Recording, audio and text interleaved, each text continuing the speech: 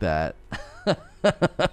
you know what I have that you don't? First of all, I have your two dollars, and second, I have a career and an agent and an agency, and I get hired to do shoutcasting. So, I wonder if I wonder if Caleb. That's what. That's what he. That's. Uh, I'm not going to read the rest of his name.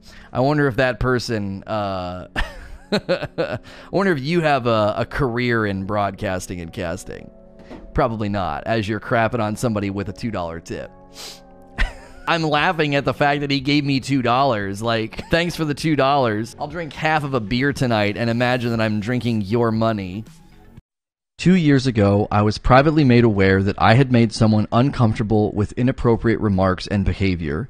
This drove me to immediately come clean to my wife that I had been living a secret and self destructive lifestyle. I decided at that moment to go into therapy.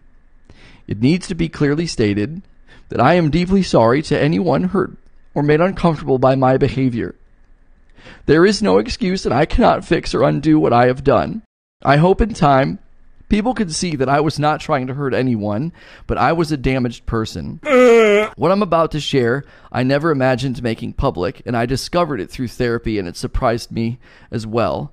I'm also not trying to excuse my behavior. It is an attempt to show that I was not a predator, but a damaged person in need of help. I'm only 45 seconds in and I already know. This won't be an apology, but rather an attempt to shift the blame and be the victim. I'll never understand why people who get caught just right away say that they're a damaged person and then go out of their way to damage other people. For the last two years, I have been working through events that I had suppressed and forgotten, and at the age of 16, I was raped by my girlfriend. I'm sorry, but I really don't think being raped is an excuse to go around touching up on people and sexual harassing them in public. And this led to months of sexual, verbal, and mental abuse.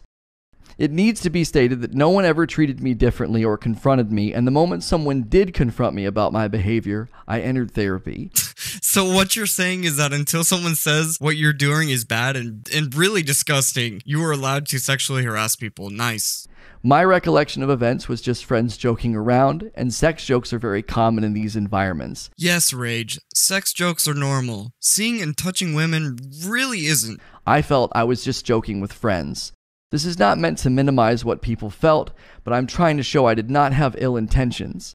I am sad that no one felt they could confront me because of my lack of self awareness led to the hurt and the pain of others. Bro, Rare Drops literally revoked your creator rights before the event, and then you decided to go anyway and get banned afterwards. How is that not hint enough that something's wrong with you? If you are seeing this and you've supported me through the years and you feel betrayed, I am truly sorry.